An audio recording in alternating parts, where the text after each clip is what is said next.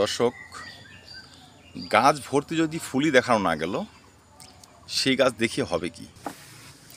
আর দুটো চারটে ফুল পাতা নিয়ে দুরারোগে আক্রান্ত গাছ যদি দেখতে হয়, সেই ভিডিওই বা দেখবেন কেন?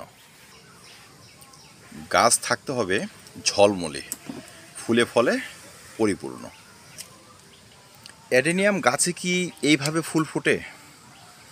দেখুন, ছোট্ট একটি গাছ। কীভাবে ফুল ফুটে আছে?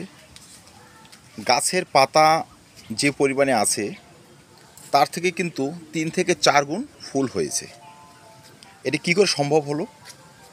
আজকের প্রতিবেদন সেটাই নিয়ে। নমস্কার, দর্শক।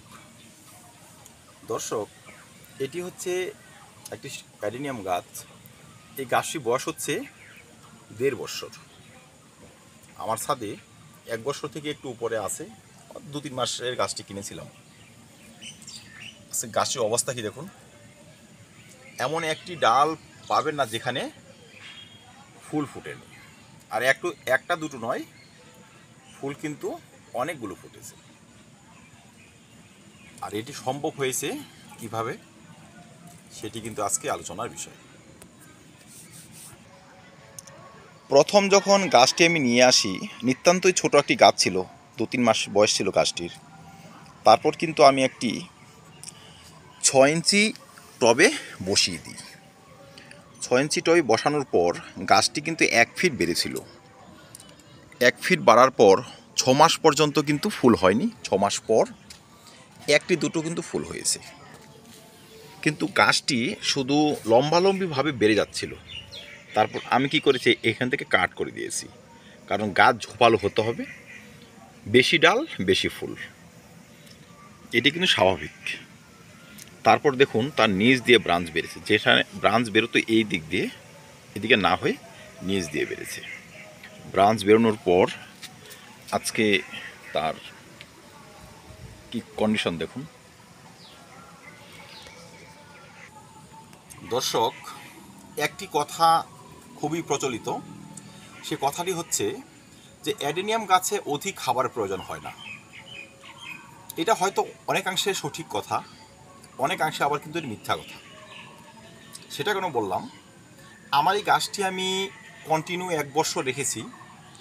সেখানে কিন্তু খুব একটা খাবার আমি অবশ্য ব্যবহার করিনি। ছোট পটে ছিল, গাছের গ্রো সামান্যই ছিল।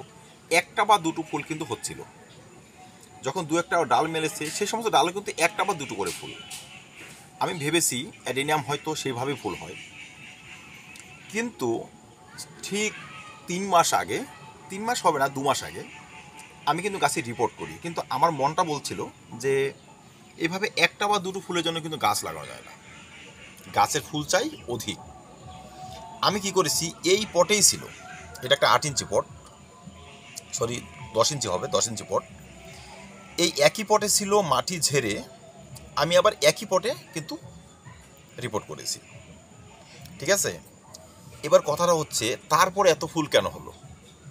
তারপরে এত ফুল হওয়ার একটাই কারণ, এখানে কিন্তু আমি ভালো মানের খাবার ব্যবহার করেছি। আমি যে মাটিটি ব্যবহার করেছি, সেই মাটির সঙ্গে ফর্টি পার্সেন্ট মিশ্র খাবার, জৈব মিশ্র খাবার ব্যবহার করেছি, রাসায়নিক খাবার ব্যবহার করেছি, এই ছোট্ট টবের জন্য এক চামচ সুপার ফসফেট, হাফ চামচের থেকে একটু বেশি পটাশিয়ামযুক্ত খাবার ব্যবহার করেছি। আর যেই মাইক্রোনিউট্রিয়েন্ট যেটা অর্গানিক হয়, সেটা কিন্তু আমি ব্যবহার করেছি হাফ চামচ। ব্যাস, মিশ্র জৈব খাবারের সঙ্গে এই খাবার মিশিয়ে কিন্তু গাছে রিপোর্ট করেছি। আর ঠিক দেড় থেকে দু মাসের মধ্যে দেখুন কতগুলো ফুল হয়েছে। দেখুন। পাতার থেকে অনেক বেশি ফুল হয়েছে কিন্তু। পাতা কটি? সর্বমোট গাছের মধ্যে কুড়িখানা পাতা হবে। কিন্তু ফুল হয়েছে কত? মোটামুটি একশোর মতো। সঠিক খাবারে সঠিক পরিচর্যা এটি করা কিন্তু সম্ভব। আর ওই প্রবাদ অনুযায়ী আমরা যদি খাবার ব্যবহার না করি, গাছ তো বেঁচে থাকবে। কিন্তু সেখানে কিন্তু অধিক ফুল কখনোই হবে না। আর ছাদ বাগানের গাছে অধিক ফুল যদি না হয় সেই গাছ ছাদে লাগিয়ে পরিচর্যা করে, কিন্তু কোনো লাভ নেই। তাই যারা অধিক পরিমাণে ফুল চান, কোনো প্রবাদের উপর না ভরসা করি, আপনারা কিন্তু গাছে খাবার দেবেন। সেই খাবারটি হতে পারে তিন মাসে একবার বা ছ মাসে একবার। গাছ রিপোর্ট করবেন ছ মাস পর পর। যদি না পারেন, এক বছর পর। এক বছর পর রিপোর্ট করে দেবেন, মিশ্র খাবার মিশিয়ে রিপোর্ট করবেন। পটাশিয়াম ফসফসের সঙ্গে ভালো মানে মাইক্রো দানা অনুখাদ্য গাছের গোড়ায় ব্যবহার করে যাবেন। হালকা জল দিয়ে যাবেন, আর কিচ্ছু করতে হবে না। ঝোপালো করার জন্য গাছের পুনিং করবেন, ব্যাস, রোদে গাছ থাকবে। দেখবেন, ফুল গুনে শেষ করতে পারবেন না। সহজ পদ্ধতিতে যদি অ্যাডেনিয়াম চাষ করতে চান, যে কয়েকটি কথা বললাম, যদি একটু বিশ্বাস হয়, একটু মেনে চলবেন, আমার থেকে বেশি ফুল কিন্তু আপনাদের কাছে হওয়া সম্ভব। তো ধন্যবাদ দর্শক। যারা অ্যাডেনিয়াম চাষ করবেন, সামনে বর্ষা আসছে, এখন কিন্তু চারা এনে বসাতে পারে। আর সুখের কথা হচ্ছে অ্যাডেনিয়ামের কালার ভ্যারাইটি কিন্তু প্রচুর। অ্যাডেনিয়াম বিভিন্ন কালারের পাওয়া যায়, বিভিন্ন কোয়ালিটির পাওয়া যায়। ইচ্ছা করলে শুধু অ্যাডেনিয়াম দিয়ে কিন্তু একটি ছাদ বাগান গড়ে তোলা যায়। ধন্যবাদ, দেখা হবে নতুন ভিডিওতে নতুন টপিক নিয়ে। ভিডিওটি ভালো লাগলে লাইক এবং শেয়ার করবেন। চ্যানেলটি সাবস্ক্রাইব করে পাশে থাকবেন। ভিডিওটি দেখার জন্য ধন্যবাদ।